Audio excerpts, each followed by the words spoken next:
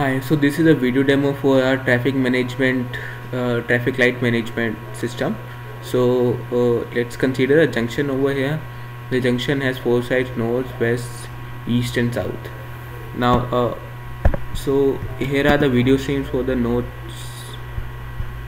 So that was the video stream for east, north side, and the others are quite similar so what we are doing over here is we have used object detection algorithms more precisely the SSD algorithm to detect uh, cars over here uh, uh, to detect vehicles. And once the vehicle vehicles are detected we have used a formula uh, which tries to calculate the density of of traffic in that site so for calculating density we have given them weights. As you can see the car has more weight than person and bus and truck have even more uh, weights associated with them. So let's see this in action now.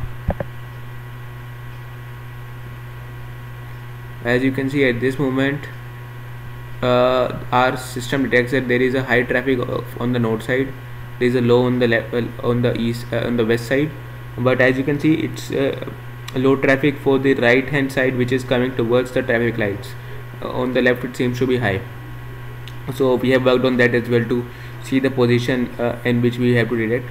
So high low high motor traffic here.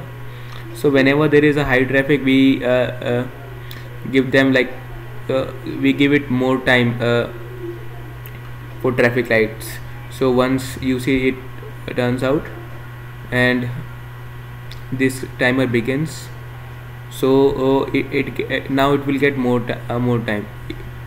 Instead of 30 seconds it's it will get more than 30 seconds. So this is our algorithm. It this also we are also recording this traffic uh, we are pushing it to the server after every one or two minutes. And once it gets pushed to the server uh, it can be used by uh, people to know where the traffic is high where it's low